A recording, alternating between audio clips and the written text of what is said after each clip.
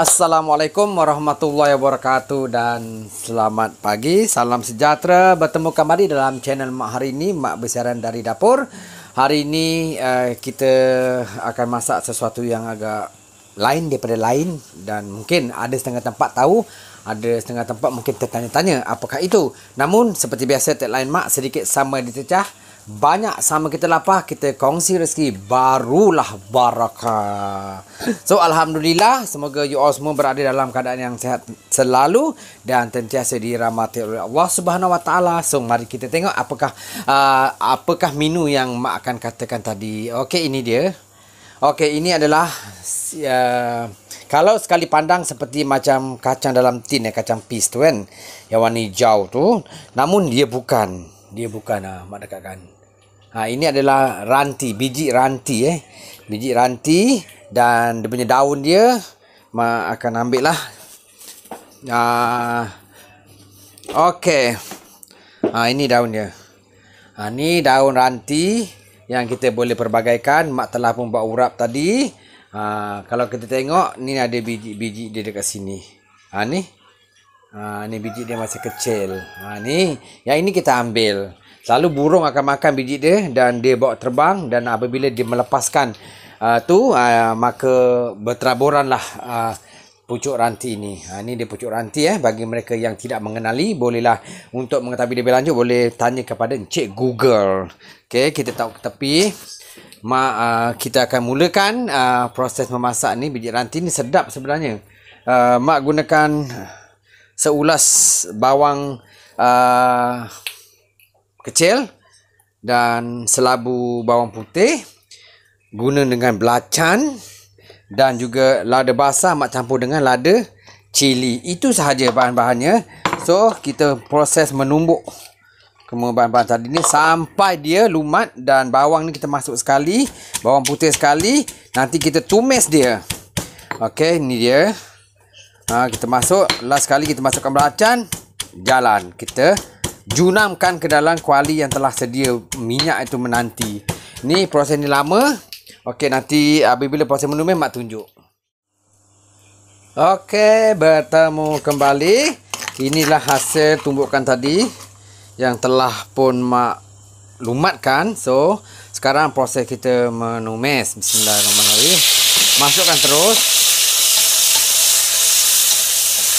Sampai dia naik bau seperti biasalah mana-mana you all masak proses untuk naik bau pecah minyak itu memang satu perkara yang dititik beratkan ya. Ha tu. Ha, bau belacan ni kuat. Ha tu. Sampai dia garing ya. Belum tu mak nak minum air dululah. Mak dah harga sangat. Kita pun digalakkan minum air yang cukup secukupnya. Kau bau belacan mak bersihin tempat sejauh sedikit. Bismillahirrahmanirrahim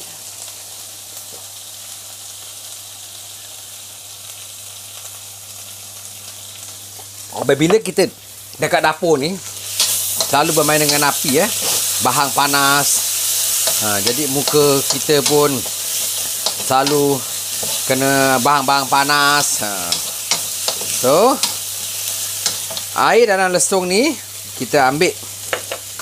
Ha, tu dia. So kita masukkan air lesung tadi.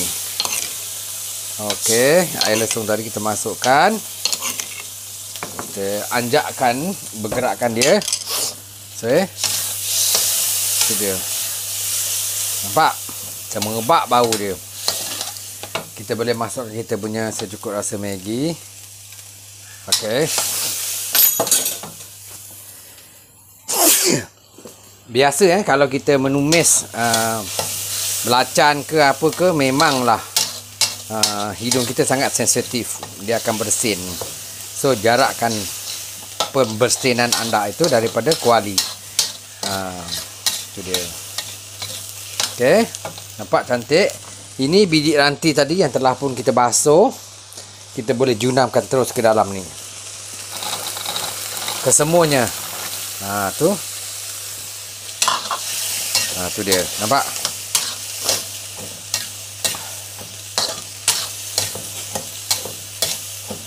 Buka tingkat, Beb.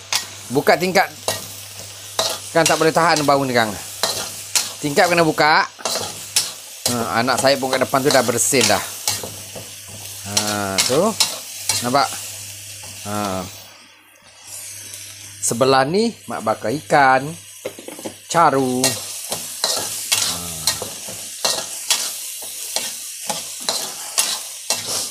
Kita tengok sebentar lepas tu kita boleh masukkan sedikit udang geragau. Ha, udang geragau yang ada ni kita bolehlah masukkan sedikit. Ha, nanti dia ada uh, lemak-lemak manis masin. Ha. Keluar tu biji tu. Ha, dia memang macam ni eh, tak ada kuah sangat, tak ada kuah. Ha, ni. So kita boleh lah ambil satu ketul, satu biji ni, kita merasa adakah cukup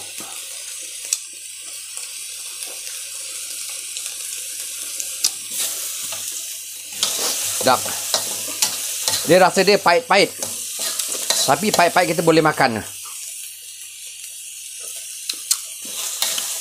Okey, sedap. Nanti masa nak makan kita boleh perah limau. Nah, dia pahit-pahit tapi dia sedap ya. Ah, jatuh lagi sebiji. Nah. Okey. Sampai dia garing sikit. Maka berakhirlah. Ah, minum ini siap ya. Tuh.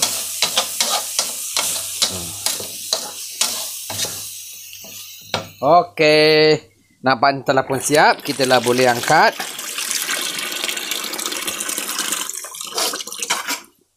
Minu agak lain sedikit.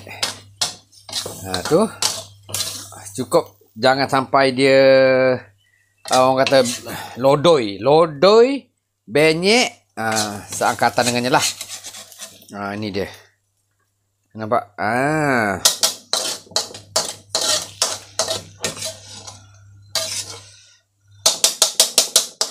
ketuk-ketuk sikit sebab dia melekat dekat tu. Ha, tu dia.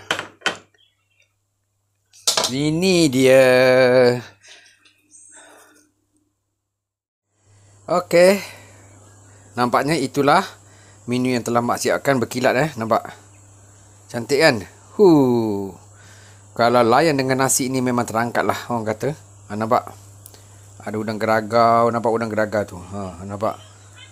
Siapa tak pernah jatuh cinta pada pandangan yang pertama. So, kalau orang tengok yang pertama kali ni yang tak biasa makan, kalau dia makan, mesti nak lagi. Pahit-pahit sedap.